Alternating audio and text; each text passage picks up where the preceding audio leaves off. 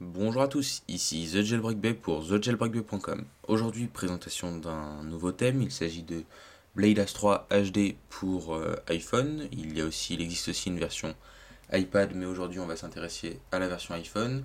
Elle est disponible sur euh, le Cydia Store pour 2,80 pour 2,99$.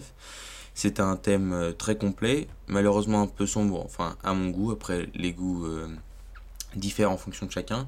Pour moi je le trouve un petit peu sombre, mais il peut sûrement plaire à de nombreuses personnes. Donc on va regarder rapidement les icônes, la customisation des icônes. Cette, ce thème euh, comporte aussi un masque automatique pour les applications de l'App Store, c'est-à-dire que lorsque vous allez télécharger une application de l'App Store, l'icône sera automatiquement customisée avec le contour des icônes que l'on peut découvrir dans le thème. Vous avez euh, aussi une customisation de certaines applications comme téléphone, musique. Alors par exemple dans musique nous avons, euh, je vais vous montrer ça. Euh, nous avons voilà des un overlay, un overlay pardon, particulier pour la jaquette du CD. Nous avons des modifications des boutons du player.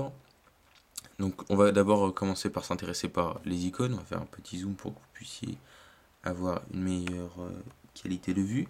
Alors comme vous pouvez le voir, les icônes euh, sont entourées par un, sont entourées par un, enfin sont entourées avec un, un autre icône si on peut appeler ça comme ça. Et donc c'est ce, ce, contour qui va être euh, ajouté à chaque nouvelle application de l'App Store quand une nouvelle application sera téléchargée. Alors vous voyez que nous avons l'icône bit SMS, on va rentrer dans utilitaire.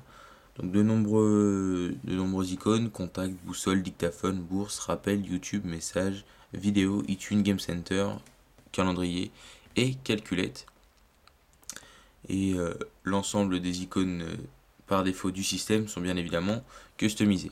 Alors ensuite, une chose que on peut remarquer en haut à droite, il s'agit d'un petit widget euh, permettant d'avoir non seulement l'heure mais aussi la date. Donc ici samedi juin le samedi juin 30.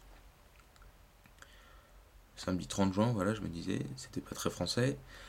nous avons aussi donc une customisation de la statue euh, status bar, oui, c'est ça, avec euh, un nouvel icône pour la batterie. Et lorsque nous lançons une application, alors ici on va aller dans les réglages, nous avons un screen, un, écran de chargement adapté à l'application que nous lançons, que nous activons.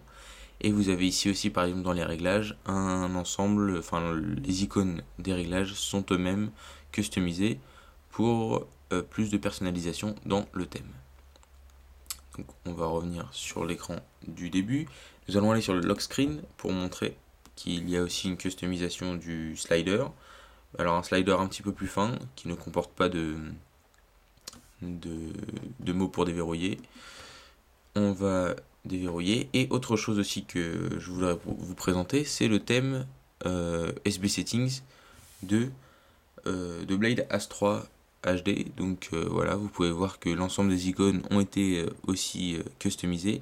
Rien n'indique que tous les icônes des toggles disponibles pour, pour SB Settings soient disponibles et soient customisés, mais un grand nombre ont été customisés, ce qui est assez intéressant.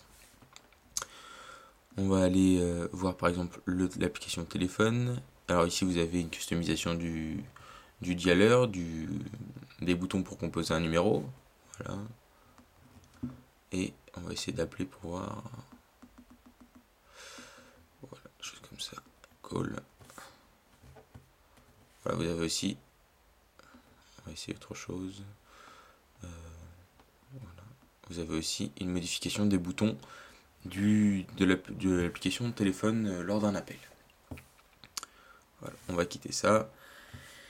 Donc voilà, c'est un thème euh, assez complet, Blade As 3D, 3 HD pardon avec de nombreuses icônes modifiées, un wallpaper assez sombre pour aller avec l'atmosphère du thème.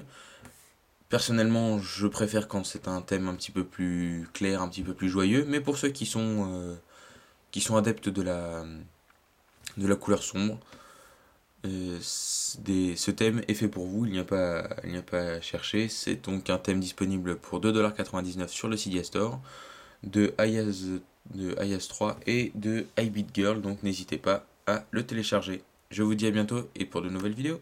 Salut à tous.